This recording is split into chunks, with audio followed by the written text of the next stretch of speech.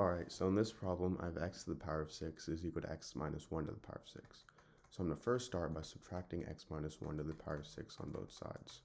So these two cancel out, and I get x to the power of 6 minus x minus 1 to the power of 6 is equal to 0. Now I'm going to rewrite this as x to the power of 3 to the power of 2 minus x minus 1 to the power of 3 to the power of 2 is equal to 0. And if I have something in the form a squared minus b squared, this is equal to a plus b times a minus b. So in this case, this can equal x to the power of 3 plus x minus 1 to the power of 3 times x to the power of 3 minus x minus 1 to the power of 3 is equal to 0.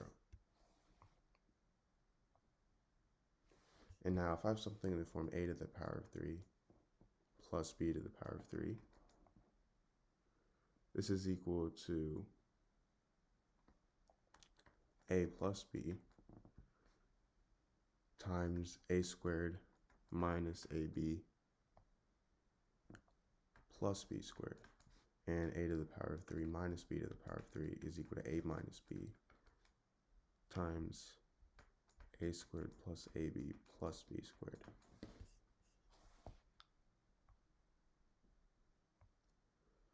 So I'm going to rewrite this as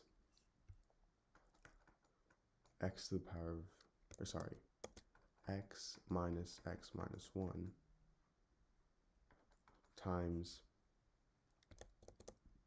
sorry, x plus x minus 1 times x squared minus x minus 1 times x plus x minus 1 squared.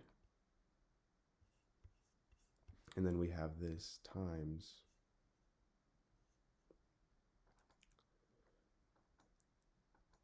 x minus x minus 1 times x squared plus x minus 1 times x plus x minus 1 squared.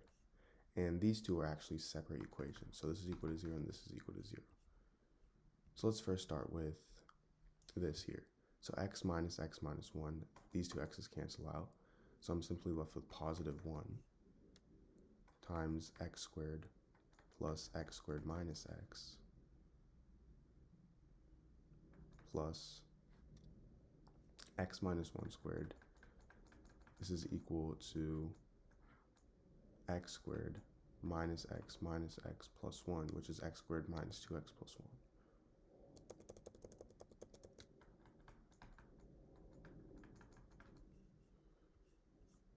So we have 3x squared minus 3x plus 1 is equal to 0.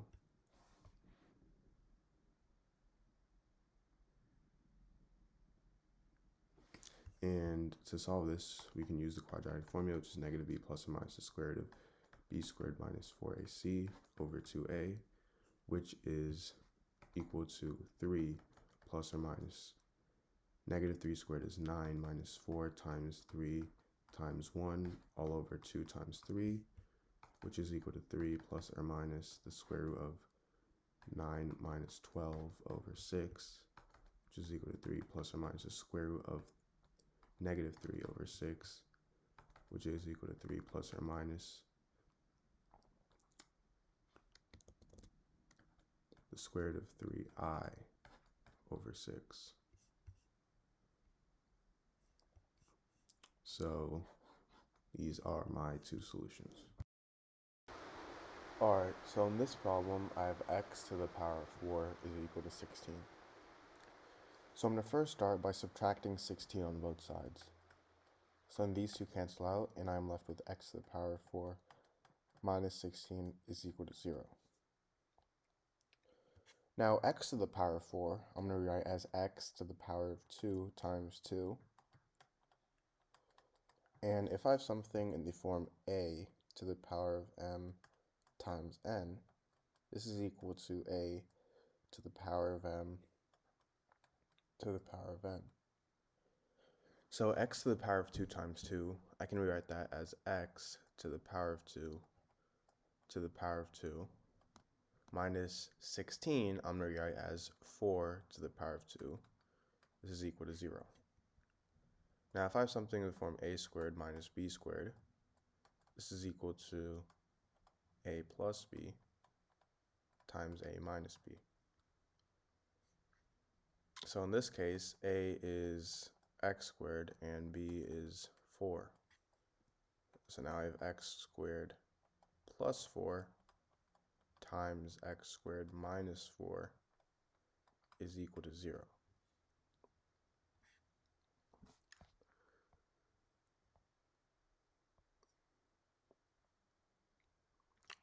Now this is going to give me two equations. I have x squared plus 4 is equal to 0, and I have x squared minus 4 is equal to 0. So x squared plus 4 equals 0. I can actually subtract 4 on both sides, and I have x squared minus 4, or sorry, x squared is equal to negative 4. Now for x squared minus 4 equals 0, I can add 4 on both sides, and I get x squared is equal to positive 4. Now for x squared equals positive 4, this is pretty simple. We just take the square root on both sides. Square root of x squared is x, and the square root of 4, that's going to equal positive or negative 2. Now for x squared is equal to negative 4, I'm going to start by doing the same thing. I have the square root of x squared is equal to the square root of negative 4. However, the square root of negative 4, I'm going to rewrite that as the square root of 4 times the square root of negative 1. And if you guys already didn't know, the square root of negative 1 is equal to the imaginary number i. So I have this square root of 4 times i.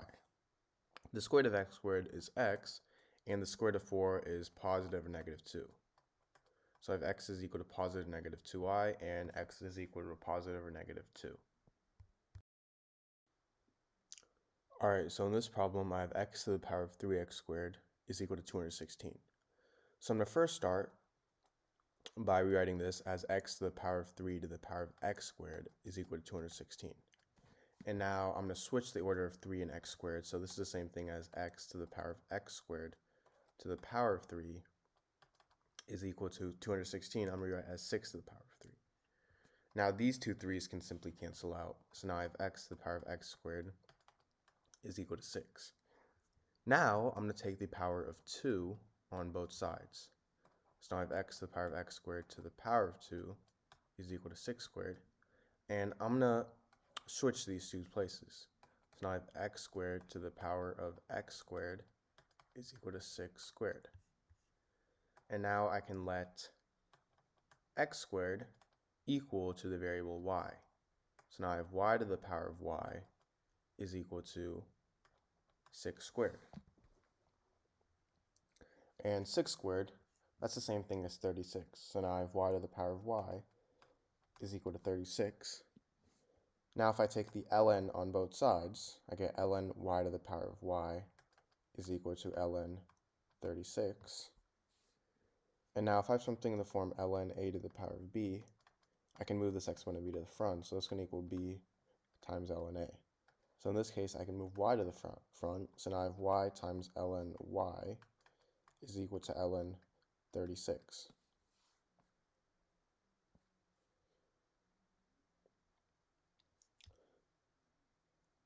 Now y is the same thing as e to the power of ln of y because the e and ln cancel out.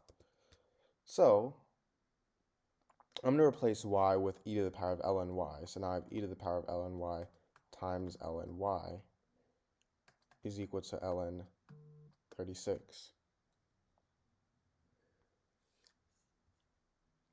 Now I'm going to take the W Lambert function on both sides. So I have the W of ln y times e to the power of ln y is equal to W of ln 36.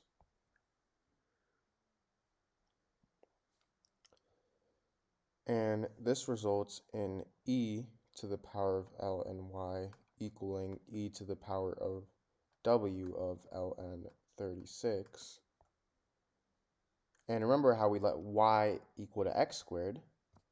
So now I have x squared is equal to e to the power of w of ln 36. If I take the square root on both sides, I get x is equal to the square root of e to the power of w of ln 36. And this is plus or minus.